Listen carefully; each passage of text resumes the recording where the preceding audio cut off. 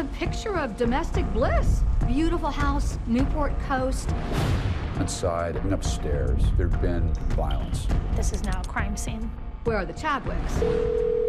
They took her. They took her. Who took her? The guy broke into my house.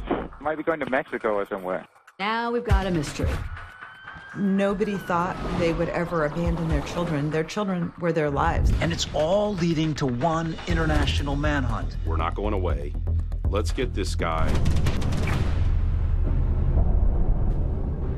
It's a very happy place with palm trees and beautiful people. That's, that's Newport. And here in this picture perfect suburb of wealth and beauty live the Chadwick family Peter, QC, and their three sons. We don't know really what was going on behind closed doors, but it sounds like they had a lot of secrets between them.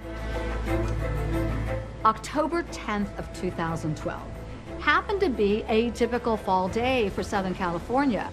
In the late afternoon, the kids got on the bus after school, went to the bus stop near mom and dad's home, and one of the parents would be there religiously. One of the neighbors is driving her children home from the bus stop, and they noticed that Peter and QC Chadwick's children are just standing there. Did they get in an accident? What could have happened?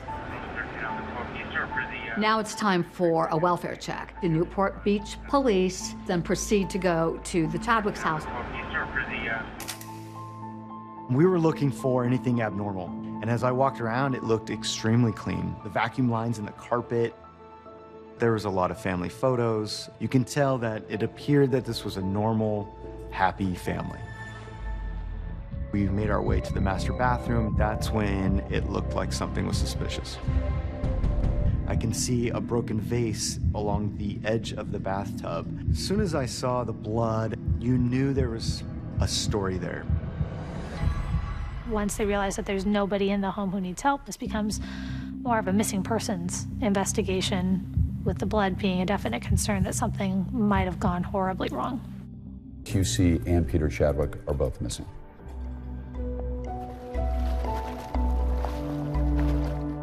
The next morning, October 11th, still no sign of the Chadwicks. And it's very, very concerning.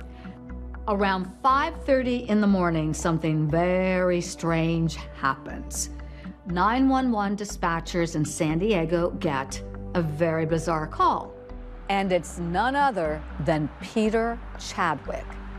I have an emergency. This is Crystal. Yeah, my wife. My wife's dead. My, Okay, so where exactly is she? what? Where is she? They took her. They took her. Who took her? The guy broke into my house. He he drove me here. He, he had a friend. They they just gone. They've gone in a pickup truck. Okay, so your wife is kidnapped. She's dead.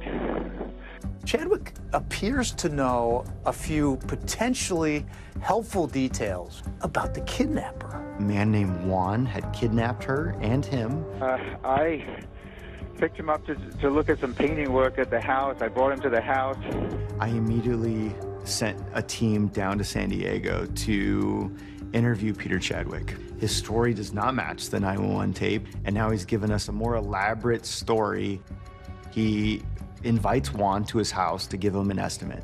Juan walks upstairs to take a look around, and Peter stays downstairs. He claims he hears his wife scream, Pete, Pete! And he runs upstairs. And he finds Juan strangling QC in the bathtub. And then Juan allegedly took a small, two inch, dull Swiss Army knife blade and threatened Peter with it. Juan holds him at bay immediately while still strangling his wife and holding her underwater. She drowned. She drowned. And Peter's story is that he complies. And Juan and Peter wrap her in her blanket and put her in the back of their Lexus SUV. And then Juan allegedly made him drive around for more than 12 hours. That's the story Peter initially gives us. We do, uh, obviously, based on our investigation, believe that she has been the victim of a homicide and we are searching for her body. Peter is already telling the San Diego Police Department that QC is dead. he's talking to them in a very low, very casual, unemotional way, they notice scratches. Scratches on his face and neck. Mmm, the plot thickens. And they're starting to wonder what have we got here? Either he's the aggressor or he's the victim. There are murder cases where it takes you weeks or months to figure out where somebody's lying. This is instantaneous. We quickly realized there was some turmoil in the marriage. QC wanted to grow and blossom into the person that she really was. And I think Peter wasn't entirely supportive of that. He teased her a lot, joked, ridiculed at times. He was very controlling. As they talked to QC's close friends, they heard that divorce had come up as a subject. He doesn't want that to happen. QC's got tons of money.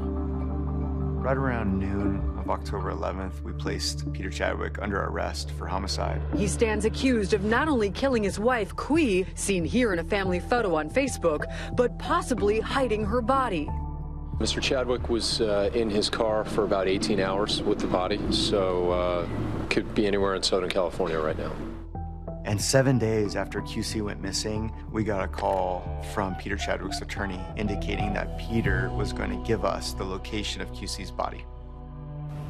Peter Chadwick says he has put her in a dumpster. Authorities confirm the body discovered inside this lakeside dumpster yesterday afternoon is that of Quee Chadwick. What do you think really happened that, that day? Uh, I believe she put up a good fight, was significantly traumatized with blunt force injuries, and then the ultimate assault was strangulation. Arguing and fighting with somebody is one thing. For it to turn physical is another. To take away your children's mother, to continue to torture her, essentially. I mean, you watch that person struggle and fight.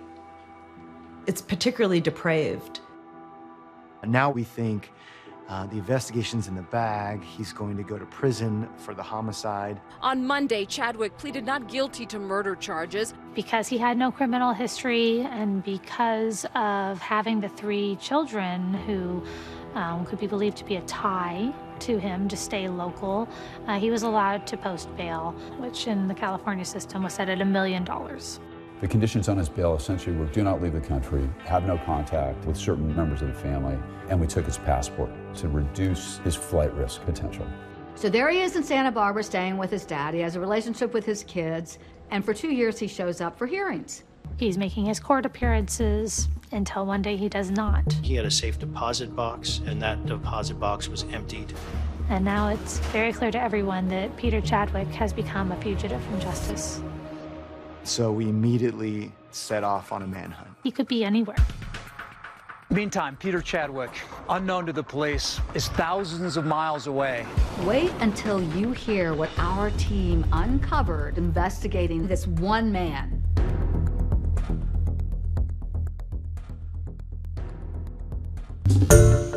Hi everyone, George Stephanopoulos here. Thanks for checking out the ABC News YouTube channel. If you'd like to get more videos, show highlights, and watch live event coverage, click on the right over here to subscribe to our channel and don't forget to download the ABC News app for breaking news alerts. Thanks for watching.